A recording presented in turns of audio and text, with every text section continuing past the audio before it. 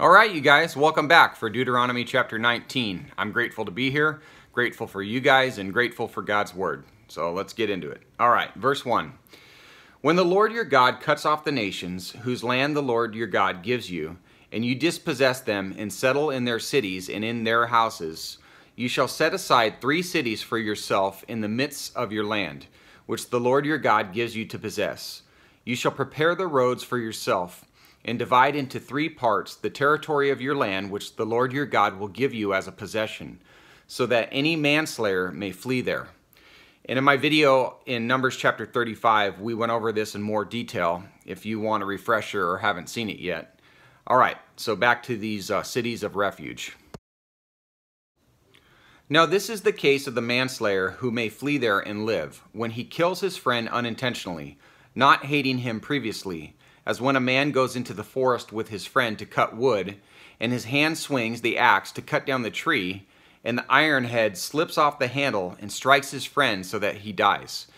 He may flee to one of these cities and live. Otherwise, the avenger of blood might pursue the manslayer in the heat of his anger and overtake him, because the way is long, and take his life, though he was not deserving of death, since he had not hated him previously. Therefore I command you, saying, You shall set aside three cities for yourself.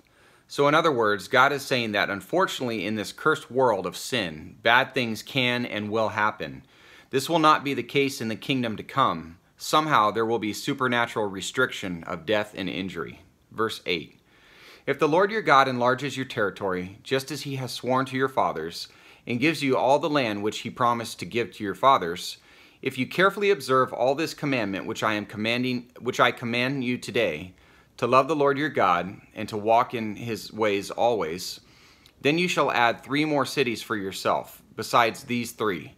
So innocent blood will not be shed in the midst of your land which the Lord your God gives you as an inheritance, and blood guiltiness be on you. But if there is a man who hates his neighbor and lies in wait for him and rises up against him and strikes him so that he dies, and he flees to one of these cities, then the elders of his city shall send and take him from there and deliver him into the hand of the avenger of blood, that he may die. You shall not pity him, but you shall purge the blood of the innocent from Israel, that it may go well with you. Again, similar to the dietary laws, this was all about separating Israel from the rest of the ungodly world. Verse 14 You shall not move your neighbor's boundary mark, with uh, which the ancestors have set, in your inheritance which you will inherit in the land that the Lord your God gives you to possess. A single witness shall not rise up against a man on account of an iniquity or any sin which he has committed. On the evidence of two or three witnesses, a matter shall be confirmed.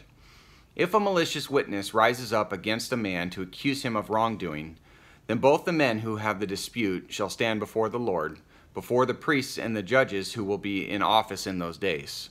The, judge, the judges shall investigate thoroughly, and if the witness is a false witness, and he has accused his brother falsely,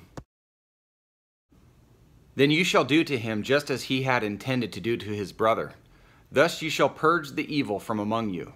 The rest will hear and be afraid, and will never again do such an evil thing among you. Thus you shall not show pity, life for life, eye for eye, tooth for tooth, hand for hand, foot for foot. Okay, the eye for an eye principle of legal justice, which is called lex talionis, or the law of retaliation, was given to encourage appropriate punishment of a criminal in cases where there might be a tendency to be either too lenient or too strict. Jesus confronted the Jews of his day for taking this law out of the courts and using it for purposes of per personal vengeance. And again, it's a known fact that the basis and principles for many of the laws in America today derive from the Bible and can be found in numerous select scriptures. One that I'm grateful for is having numerous witnesses in a jury so that a person isn't falsely accused. I know that it isn't perfect and mistakes can be made, but at least we have a system in place that tries to prevent mistakes from happening and I am grateful for that. And I'm grateful for God's word and all that he instructs us. So thank you guys. I'm glad you could be here and hope you can join me again tomorrow. God bless you. Take care.